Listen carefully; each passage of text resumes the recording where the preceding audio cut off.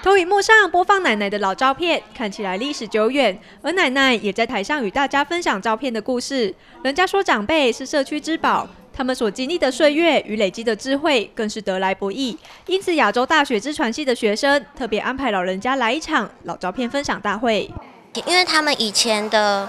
那个生活方式其实跟我们很不一样，而且那些就是旧照片的感觉，就是很有那个经历的感觉，对。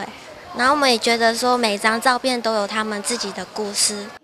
学生表示，趁着毕业专题制作的机会，他们跟乌峰锦龙社区的关怀据点合作，除了积极参与据点的活动，也设计小活动与长者一同互动。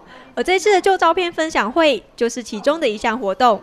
长者们借着重拾过去的点点滴滴，分享彼此的人生故事。老照片哈，让他们回忆起他们以前以往的很多的人生的历练啊。长者也都会把他的心里的很多的话哈，有时候在家里不不好意思讲的话，在这里跟。跟他的同学，还有跟我们一起分享。啊，二三回去，马斯克在走了。在分享会中，奶奶说着以前艰苦的生活故事。像这位奶奶拿出五十年前的照片，说着以前卖米台木时艰苦的生活。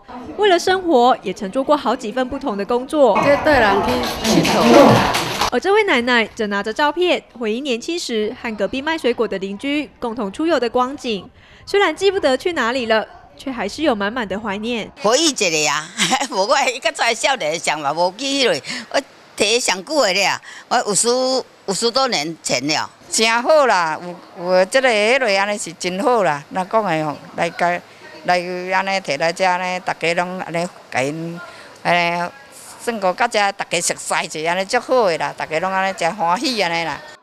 透过社区参与，除了让学生们能够将所学回馈社会，长者们带来的人生故事，同时也让大学生们上了一课，而长者之间也能借此互相交流。记者陈昭安，台中采访报道。